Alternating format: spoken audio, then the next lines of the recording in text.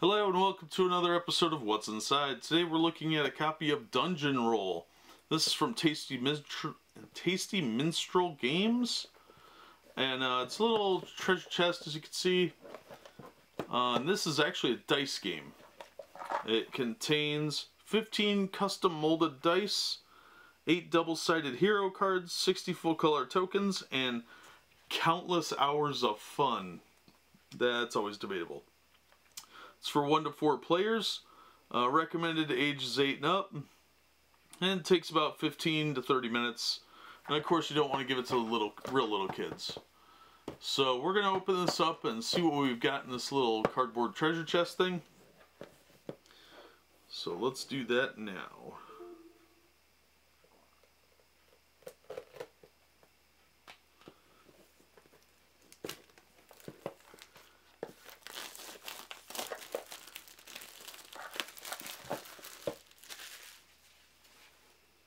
Alright. Alright, the box is fairly well constructed, I guess. It's okay. Alright, the uh, the booklets were separated by this piece of cardboard. You might want to hang on to it just so your stuff doesn't get all screwed up. Uh, but yeah, it's it's hinged kind of funny. Like this piece is one piece that's glued on to the lid, so I can see that breaking really easily without a little bit of care. So you might want to find a way to reinforce that or just have it around people that aren't going to break it because uh, even moderate use is probably going to damage this pretty heavily. Uh, it's not super well constructed and it's a lot smaller than I expected it to be. I mean this is barely bigger than my hand. I thought it was going to be a little bit larger and a little more... It, it, it's more of a cheap gimmick in my opinion. Is I guess what I'm getting at. Alright, so we got dice here. Then we got our stack of stuff. Let's look at this stuff first. Alright, so here's our uh, Delver, Dungeon Delver's Guide, which is the rule book, obviously. And, um, yeah, uh, it doesn't look quite as good on the inside as it probably should. Pages aren't numbered, which is kind of annoying. Um, it's a weird shape, too. So I don't like that. Uh, yeah, I mean, it's, it's in color at least. Paper quality is okay. Um, the components list is in here too. 7 white party dice, 7 black dungeon dice, 1 10-sided level dice, 36 treasure tokens, 24 experience tokens, 8 hero cards, 4 player aid cards, 1 rule book, 1 book of heroes. So, and you can play this one to four players, so if you want to do it solo, you can do that. And that's kind of cool. Alright, so we have Treasure Board A, which on the back is just like this generic dragon symbol on a gold coin. And then it's got that. Which looks like food, some rings that look vaguely suspiciously like the, that ring from that Lord of movies. Then you've got uh, two XPs and what looks like a leaf or a shield. Uh, treasure board B, same thing. On the other side, we've got uh, these like potions and scrolls in orange, uh, yellow shield, I guess that is, and two red rings and two green swords. Then treasure board C, back image is the same. Then we've got a green sword, uh, three gray necklaces. I can't tell what the blue thing is. Looks like it might be a potion or something. Um, and the, these three purple swords and two yellow shields. Let me check the book and see what those things really are. If I can find it real quick. Nope. I don't know. It's going to have to remain a mystery until you buy it and play it yourself. Uh, this game, price-wise, varies pretty heavily. So, um, it's usually under 20 bucks. But, um, you might be able to find it for closer to 15. I think I paid 15 for my copy. I got it off Amazon. Uh, the I, I've seen it at stores before and it was like 20 bucks. And I was like, no. I'll find it cheaper than that. Yeah, the retail price is 19.95. So I don't know this is worth it, quite honestly. Alright, so we've got some XP tokens here. On one side it's all ones, and then if you flip it over, it's got fives, tens, and threes. So you got three threes, four tens, and five fives. And they're Roman numerals, obviously. Then we got some more tokens, uh, XP tokens with the exact same layout. So those are the same. Alright, then we've got our Book of Heroes. Uh, so we've got, uh, it's got a description here of what the card is. Here's an example of the card with numbers on it. So we've got like a Crusader Paladin. Those things were not the same historically. Uh, we've got an Enchantress Beguiler. The art's okay, not too fancy. The card, uh, the paper quality on this one's a lot better than the other one, I think. I don't know why.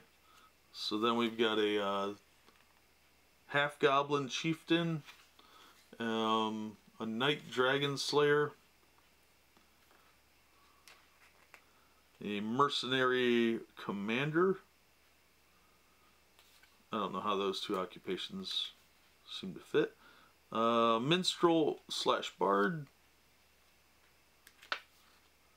An occultist slash necromancer.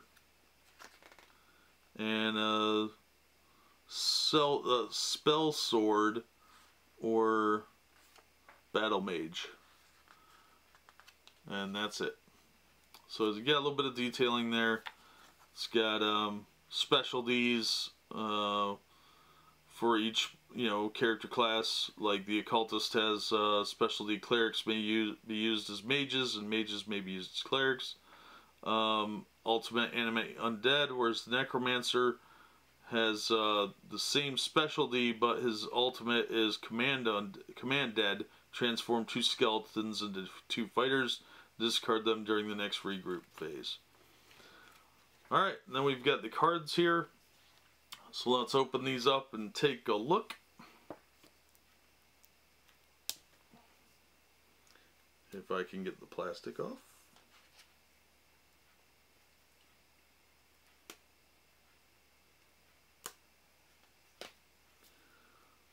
So far, it's not too bad, but it's not I'm not impressed just yet. But, you know, that doesn't mean much. This is just first impressions. I haven't played this game. So let's get these out of the way. Alright, we've got some reference cards here. Uh, on the back is the image of what these uh, symbols mean. And that one I wasn't sure of is the Scepter of Power. I never would have got that out of it. Uh, on the other side is these um, charts here. It's got different meanings of what things are. Uh, so there's that. But yeah, there's four of these. One for each potential player. And then we have the Crusader. So it's got, sorry, the Crusader on this side. And if you flip it over, it's got the Paladin. Then we have the Occultist.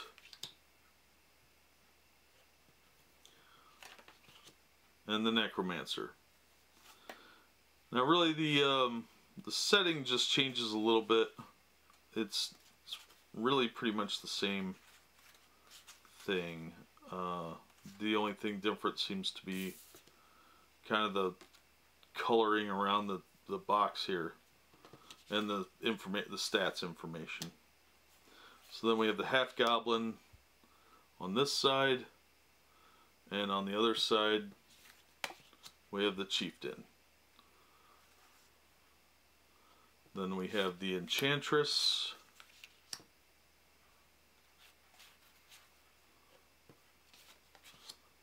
And the uh, beguiler.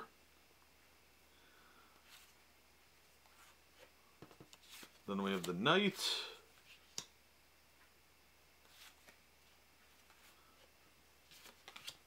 and the Dragon Slayer. Mercenary. And the Commander. Now I have to admit the card quality on these is pretty good. Uh, the Spell Sword, which I still think is a stupid name, and the Battle Mage.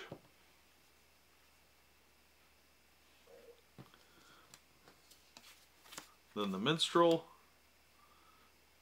and lastly, the Bard. So these these are pretty good quality cards actually. Um, the tokens aren't bad either. Like they're regular thickness, nothing particularly fancy, but I expected something a little crappier, honestly. Um, so that's the cards. Let's get those out of the way by putting them back in the box here. And the booklets. Uh, you'll probably want to get a little baggy for those uh, tokens because they're going to bounce all over and get destroyed. Alright, let's look at the dice. Now these are obviously um, game. That's loud. Game specific dice. So if you lose one of these, that's gonna really hurt your game. So be real attentive to that. The D10 is got some flourish to it. It's a little more designer. Uh, but the only real difference is there's a dragon where the 10 should be. Um, otherwise, it's kind of got this flame motif going but the dragon symbol is the only real thing that keeps it apart. Uh, and it's a little larger than your typical D10. So it's a fairly big D10. That's about it. And then you've got your dice here. Let's see if these are all kind of the same. Yeah, it looks like it.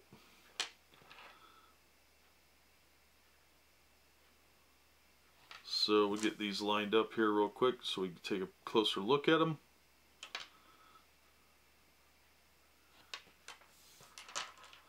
And now the, the dice are all kind of the same.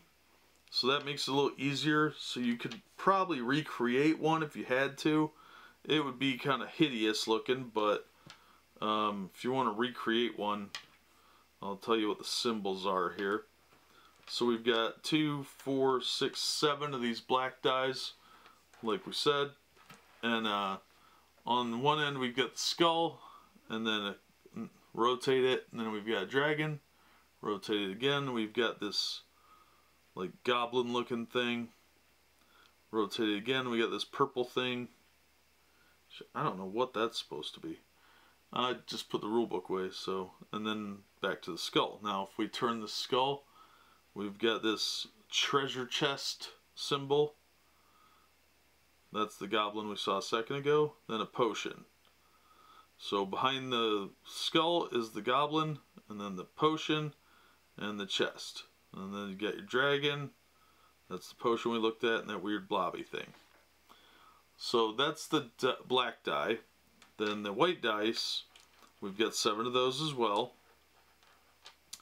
We've got the cross swords. Then we've got a wizard hat. Then we've got Looks like a scepter top or maybe a wagon wheel. I don't know.